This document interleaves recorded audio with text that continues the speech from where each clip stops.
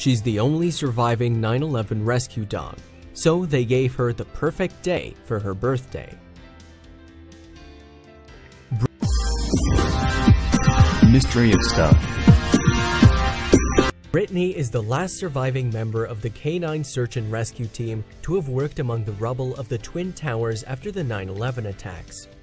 She turned 16 in 2015, and thanks to the kindness of several people who wanted to show their appreciation, she got to celebrate in spectacular style.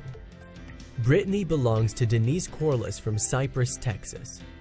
Bretagne is a beautiful golden retriever, and she and Corliss worked with hundreds of other rescue dogs that tragic day, scouring Ground Zero. It was soon evident to them, however, that the operation was more about recovery than rescue.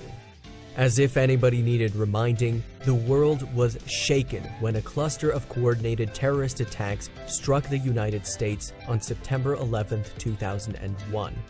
It was part of a plan engineered by Al Qaeda zealots to target symbolic buildings and cause an unprecedented loss of life. Two hijacked planes flew directly into the World Trade Center in New York, and another hit the Pentagon in Washington, D.C. A fourth plane crashed into a field in Pennsylvania after its brave passengers fought the hijackers for control. The 9 11 attacks left a total of 2,996 people dead. In circumstances like this, search and rescue dogs are an important part of finding survivors and recovering victims. Their incredible sense of smell can pick up things that human rescuers might miss or are incapable of detecting. Indeed, many people owe their lives to the efforts of these canny canines. But not every dog is suited to search and rescue work. It takes certain personality traits and rigorous training on the part of both the canine and their human handler.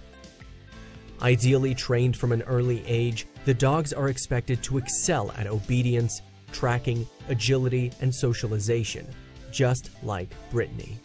Corliss spotted Bretagne in 1999 and knew almost at once that the retriever had the right personality for the job. Indeed, as a pup, Bretagne was assertive enough to squeeze past eight other littermates to meet her potential new human. That kind of pushy behavior helped her be the persistent, don't give up style of working dog that I needed later, Corliss told CNN. The rest is history. Corliss and Bretagne joined Texas Task Force 1, or TXTF 1, in 2000, a group of highly trained search and rescue professionals specialized for working in urban disaster environments. Bretagne was just two years old when she and Corliss were called upon to respond to the September 11th attacks. In fact, the heroic pair were part of the relief group called in to replace the first 9 11 response team, giving them some time to rest. Both woman and dog worked diligently and almost non stop, searching Ground Zero for 12 hours a day. Corliss said the teams were lucky if they got four hours of sleep. But search and recovery wasn't the only way Bretagne helped in the disaster's aftermath. You'd see firefighters sitting there, unanimated, stone faced, no emotion, and then they'd see a dog and break out into a smile. Cindy Otto, a vet who looked after the rescue dogs on site, told the New York Daily News. Those dogs brought the power of hope. They removed the gloom for just an instant, Otto said. Corliss also reported about a time Bretagne, expertly trained in obedience, ignored an order to come back. Instead, the dog instinctively went to comfort an upset firefighter. It was like she was flipping me the paw, Corliss told the New York Daily News. She went right to that firefighter and laid down next to him and put her head on his lap. Heroes in every sense of the word, the pair worked several disaster sites after 9 11, including Hurricanes Rita, Katrina, and Ivan. Corliss and Bretagne left TXTF1 in 2009, but they spent a couple of years doing search and rescue work at their local fire department. She retired completely at 9 years of age, but you can't keep a good dog down. Bretagne took up swimming at 13 to help with her stiffening joints. It makes a huge difference, Corliss told Today. She started doing the stairs again, then we started focusing on ways to keep her mentally active. And it turns out that helping kids with their reading in school is great for that. it helps her as much as it helps them. In 2015, the New York based canine themed content site BarkPost heard Bretagne's 16th birthday was approaching and wanted to do something very special for the Golden Retriever. Bretagne was called to New York again, but this time it was for an altogether more cheerful reason. To celebrate her birthday and thank her for her incredible service, we were honored to team up with the dog lovers at One Hotels to bring this New York City hero and her mom back to the city for the ultimate dog's best day, BarkPost wrote on their YouTube channel. It was the day Bretagne had always deserved for her service.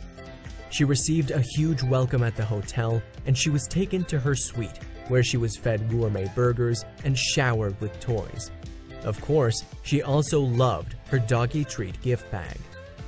Bretagne's gifts included a Bone to the Park Tiffany & Co. dog charm, given during a playtime in the park's fountains, and a beautiful birthday cake to celebrate her special day.